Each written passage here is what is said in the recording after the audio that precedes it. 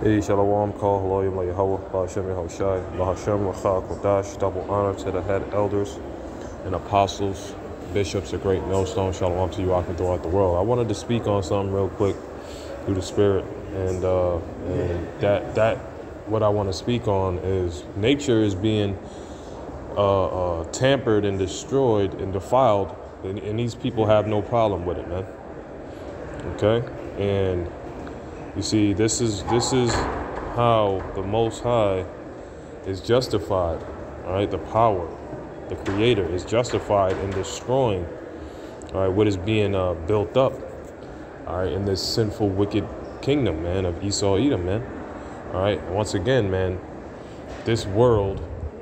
All right, the nature is being defiled and tampered and destroyed, and these people all right, that are on the this, this so-called white man's, uh, you know, uh, that are that are drunk with the so-called white man's philosophies and his ways of life, have no problem with it, man. So it's only it's only it's, it's inevitable, man. It's inevitable that the uh, great destruction, all right, is coming to this world, man. You know, and Salakia for the noise, as you already know, you know. Uh, these uh, impromptus are done on the fly while I'm on the move.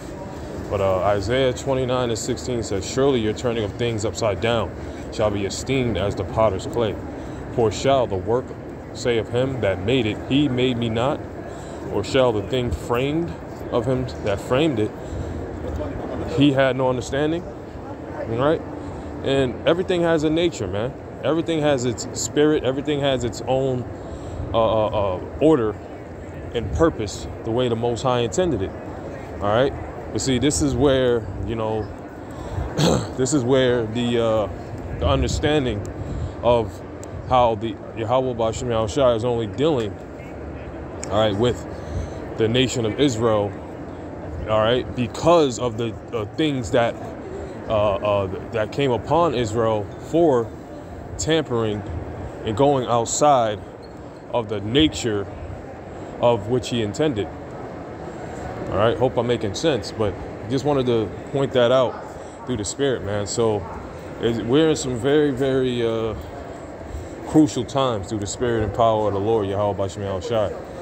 So remember, you know, and understand that, you know, when we look around this world and we're going throughout our day to day, and we're going through whatever we're going through under the, you know, uh, oppression of our enemies, just understand and remember that nature is being defiled and destroyed and tampered with, and these people have no problem with it. So what what what person, what what um people, what manner of persons ought we to be?